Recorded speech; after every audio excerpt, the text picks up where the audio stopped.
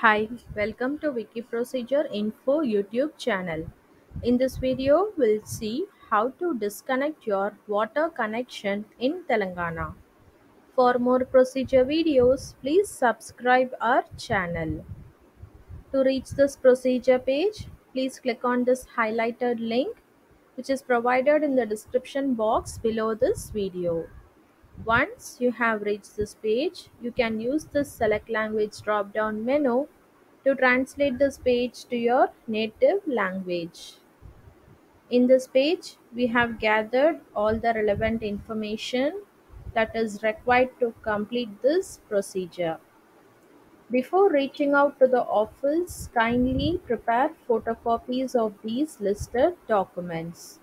The documents include your identity proof like driving license or your passport. Then you have to take residence proof photocopy. You can take ration card or your Aadhaar card, telephone bill or electricity bill. Then you have to take photocopy of your recent water connection receipt. Once you have gathered all these documents, you can reach out to the municipal corporation office with the help of the contact details provided in this link. In Telangana, you have to reach out to the municipal office before a week of your disconnection procedure. You can click on this link to reach out to the municipal administration website. Here we have the head office address and the phone number. If you scroll down, you can find all the officers' phone number and email ID.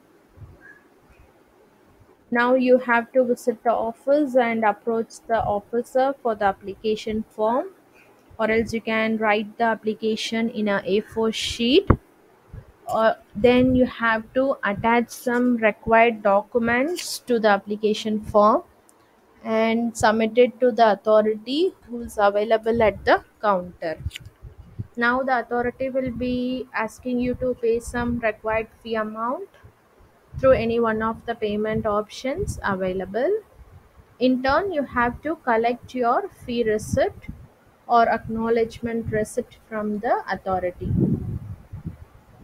now you can wait for few days to get the background verification done. Once the verification process is completed, you will be notified with SMS.